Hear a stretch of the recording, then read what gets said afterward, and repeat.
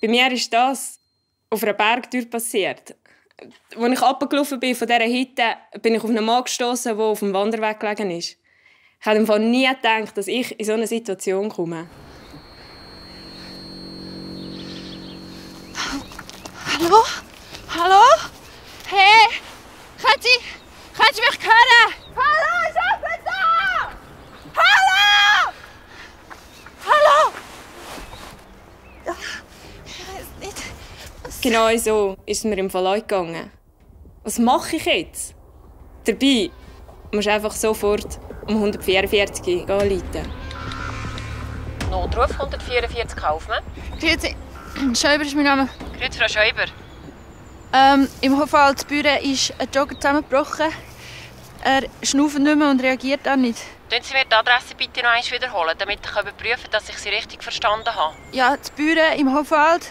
Ich fahre Straße Stadt. Und was ist passiert?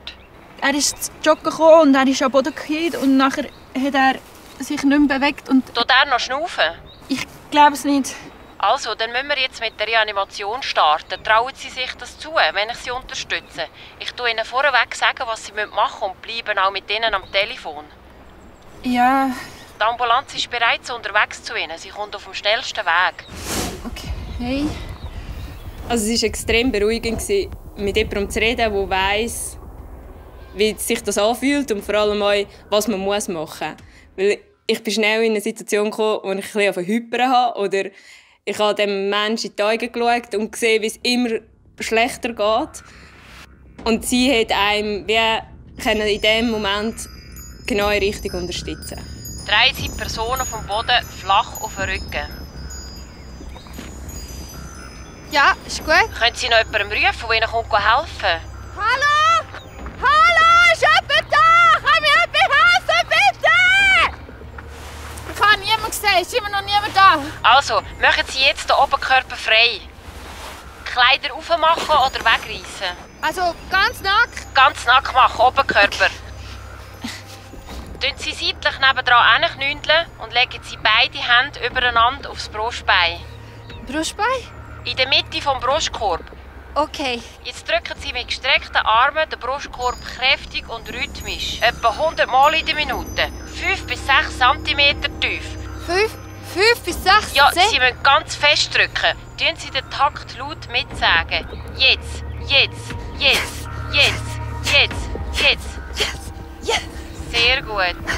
Drücken Sie ohne Pause immer weiter. Ich bleibe mit Ihnen am Telefon. Yes, yes. Der Rettungsdienst ist unterwegs zu Ihnen. Ich konnte mir nie vorstellen, dass man 15 Minuten lang reanimieren kann. Aber in so einer Situation entwickelst du einfach Kräfte, die du gar nicht gewusst hast, dass du die hast.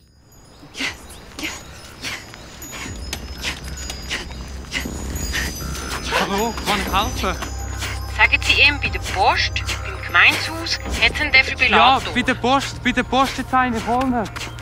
Super! Jede Minute, wo nicht reanimiert wird, sinkt die Überlebenschance um 10% vom Patienten. Also wenn wir einen Anfahrtsweg von 10 Minuten haben und es ist keine Thoraxkompression gemacht worden, sind die Überlebenschancen sehr gering.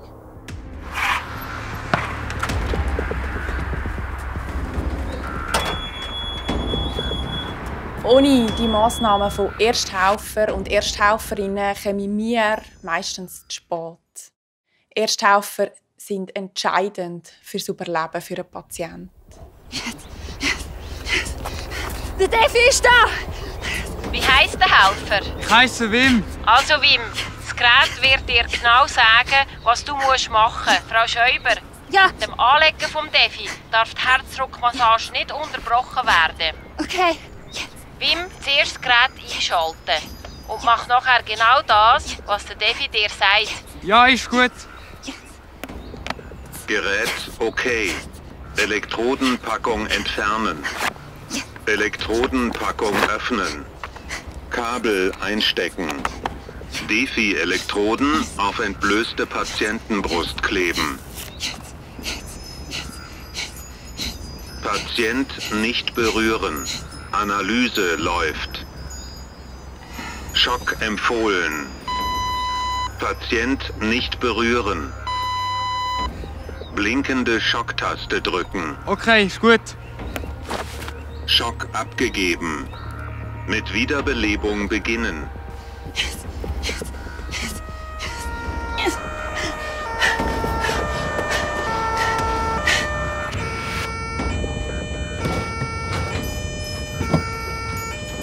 Ja, es fährt extrem ein. Man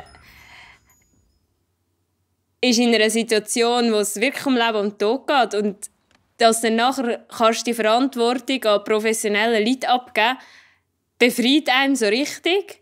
Und im Nachhinein denkst du einfach nur, jetzt hast du, hast du etwas Gutes gemacht und das gibt einem ein gutes Gefühl.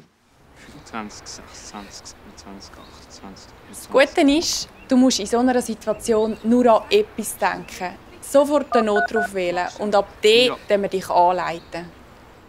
Falls du lieber willst, auf einen Ernstfall vorbereitet sein dann mach einen Reanimationskurs oder einen BLS-Eude-Kurs. Das ist das Gleiche. Mit dem Training kannst du nicht nur routinierter helfen, sondern du lernst euch selber besser mit so einer Situation umzugehen. Schau bei der Wahl von dem Kursanbieter auf das Gütesiegel vom Swiss Resuscitation Council. Die vom SRC geprüften Kursanbieter findest du unter www.resuscitation.ch.